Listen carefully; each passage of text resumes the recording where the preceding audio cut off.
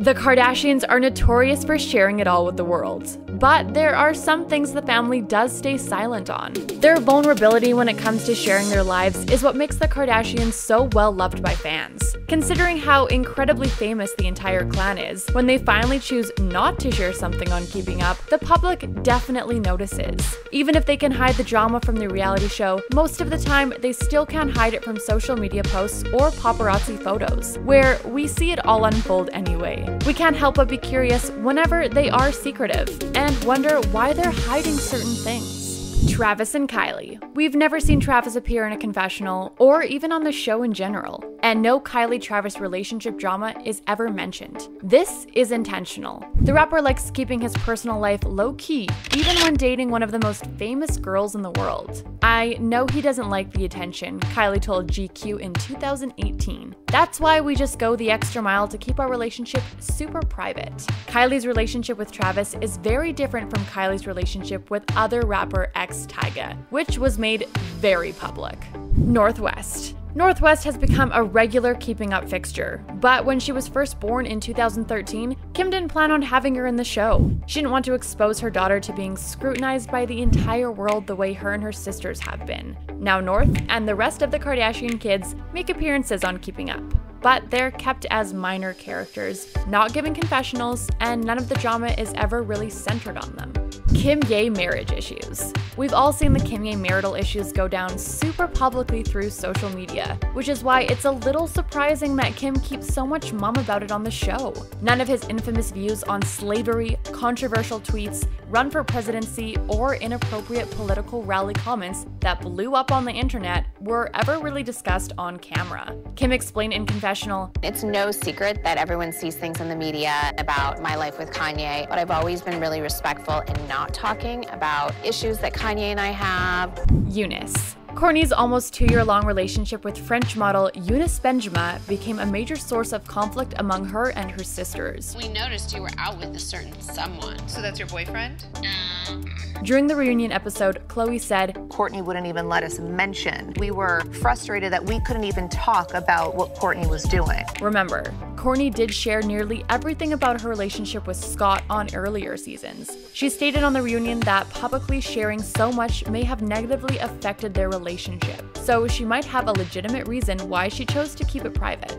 Kylie's pregnancy. Kylie Jenner's pregnancy reveal was one of the most iconic events of 2018. She notoriously kept the baby news hidden from the entire public and even from the producers of the show. She discovered that she was pregnant while filming Life of Kylie. A producer found out from a family member, not Kylie herself, and didn't think the news was real. I thought they were trying to set me up, the producer told Variety. Jenner kept the pregnancy to herself to prepare for motherhood in a positive, stress free, and healthy way. Kendall's boyfriends. We've never heard anything about the boys that Kendall has been linked to over the years. Harry Styles, Ben Simmons, Blake Griffin, Devin Booker, none of them. There's a reason Kendall's kept so tight lipped. She wanted to figure out in private if they were legitimate or not. An executive producer recently revealed to the Daily Dish podcast Kendall's always had this rule. She just felt that she had to be with someone for at least a year before she lets them be a part of the show, because she doesn't always know what people's intentions are. The 818 founder recently celebrated her one year anniversary with NBA beau Devin Booker. We wish we could have met him on the show.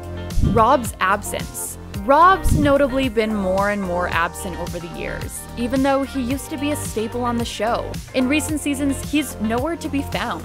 In 2019, Kim explained his disappearance. He has his moods. Sometimes he's like, Look, I didn't sign up for this. And then he's like, I'm cool to do it. Rob has been working on his mental health and weight issues. He's not really active on social media and primarily is focused on raising his daughter Dream.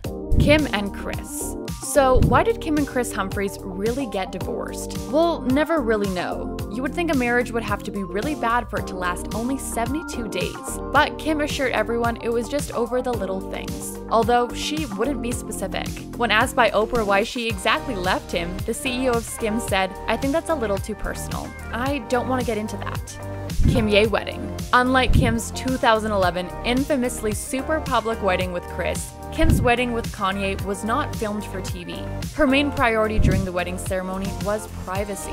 Guests weren't allowed to use their phone and also had to sign non disclosure agreements. She stated in the reunion that part of why she got married in 2011 was because she felt pressure from the plans to film the wedding for the show. So, having a private ceremony the next time around was the right choice. Kendall's Pepsi commercial. Kendall at first did not want to use the footage of her crying after facing public backlash from Pepsi's 2017 train wreck of a commercial. Kim urged her to use the footage to show the public what she was really going through. Kim told The Hollywood Reporter, We're not perfect, but you see these things in the media, like Kendall and where I see her at home crying.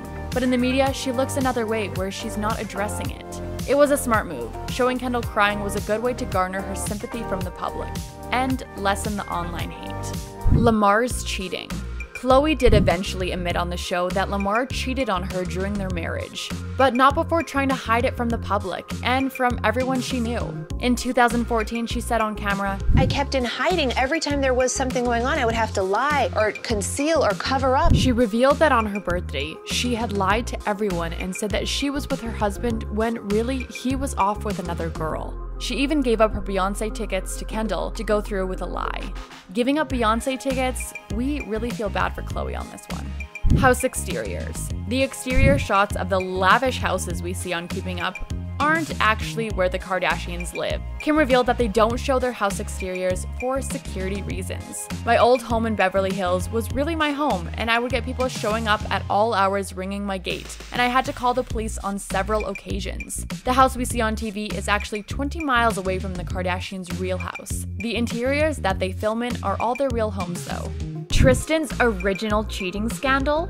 We'll give it to Khloe. She shared a lot with us about her and Tristan's relationship woes, and his two major cheating scandals have been mega plot lines on the show. However, on the show, she has never confirmed or denied any of the rumors that she began seeing Tristan while he was technically still together with his social media influencer ex, Jordan Craig, who was pregnant with Tristan's first child, Prince, at the time. Tristan has adamantly denied these infidelity rumors. But you know, he's not exactly the most trustworthy person in our eyes. Khloe and Tristan have reportedly just broken up again amid another strand of cheating allegations. Ugh. Lamar's addictions. Khloe and Lamar looked like the picture perfect couple on their spin off of Khloe and Lamar, but there was trouble brewing under the surface. Around the same time the show was being filmed was when Khloe first caught Lamar using. Lamar said in an interview, she was disappointed. So was I. I'm not gonna say she accepted it, tolerated would be a better word. Plastic surgery. If there's one thing everyone can agree on, it's that the Kardashians love plastic surgery.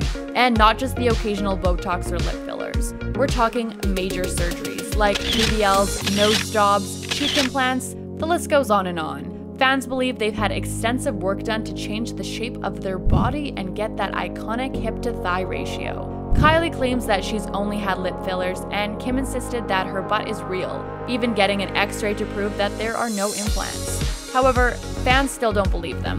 Kylie, in an interview with Paper Magazine, said they don't understand what good hair and makeup and like fillers can really do.